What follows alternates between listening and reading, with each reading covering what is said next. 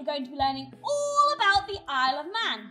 So, let's go discover what we can find inside.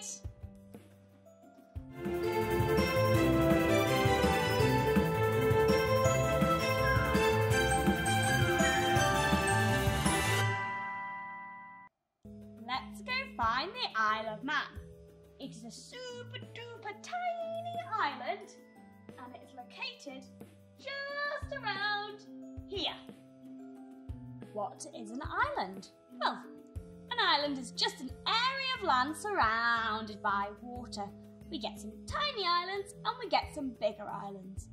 Did you know that Great Britain is actually an island? The Isle of Man is an island in the Irish Sea.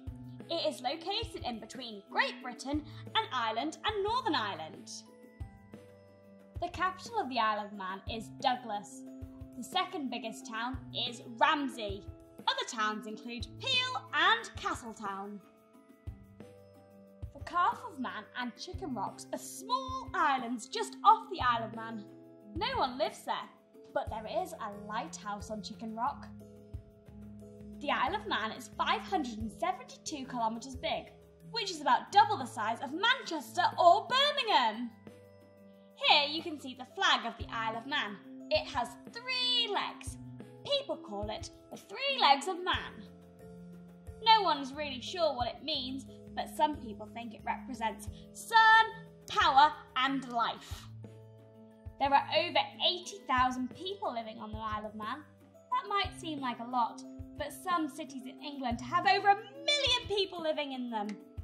And I've heard Strang Stores sells the best breakfast butties. Someone who comes from the Isle of Man is called a Manx. English is the most common language spoken on the Isle of Man. However, they did have their own special language once upon a time. The language was called Manx or Manx Gaelic. You can see some signs on the Isle of Man written in Manx. Why don't we learn some Manx? So they have Moghrey mie for good morning, and they also have Fastyr mie for good evening or good afternoon. Or we can just say, Yes, sir!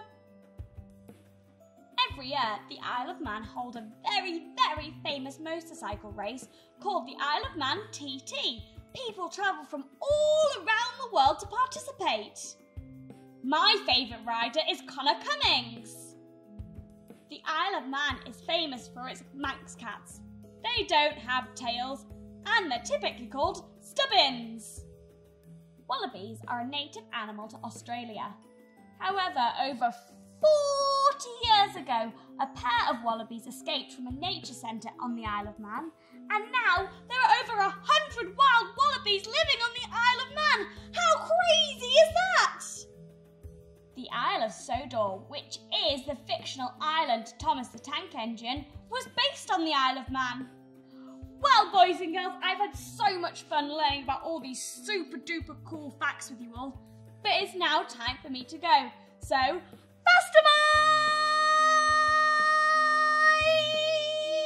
Thank you so much for watching. Please make sure you catch all of our other videos right down, right now! And make sure you tune in every Monday, Wednesday and Friday for new videos please check all of our social medias for news about upcoming videos and also